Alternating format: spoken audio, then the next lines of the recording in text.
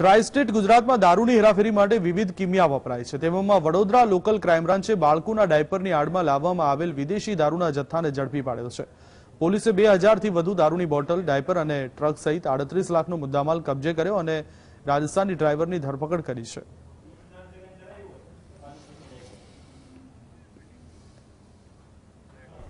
સુરતમાં ભાજપના કોર્પોરેટરના પુત્ર સાથે છેતરપિંડી થઈ કોર્પોરેટર સંજય દલાલના પુત્ર સાથે અઢી કરોડ રૂપિયાની છેતરપિંડી થઈ હોવાની પોલીસ ફરિયાદ નોંધાઈ છે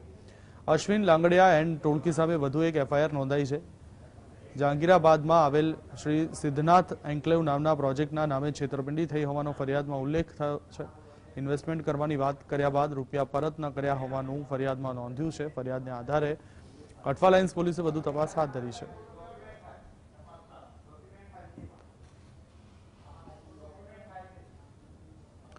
જુનાગઢ જિલ્લાના માંગરોળ પોલીસ દ્વારા ફરી એકવાર ખનીજ માફિયા પર સકંજો કસવામાં આવ્યો છે. પોલીસ દ્વારા લાઇમસ્ટોન ખનીજના ટ્રકોની રોયલ્ટી ચેક કરવામાં આવી હતી. આઠથી નવ જેટલા શંકાસ્પદ ટ્રકોની રોયલ્ટી ચેક કરી આગળની તપાસ માંગરોળ પોલીસને સોંપવામાં આવી હતી. પોલીસ દ્વારા ચેકિંગ શરૂ કરવામાં આવતા ખનીજ માફિયામાં ફફડાટ જોવા મળ્યો હતો.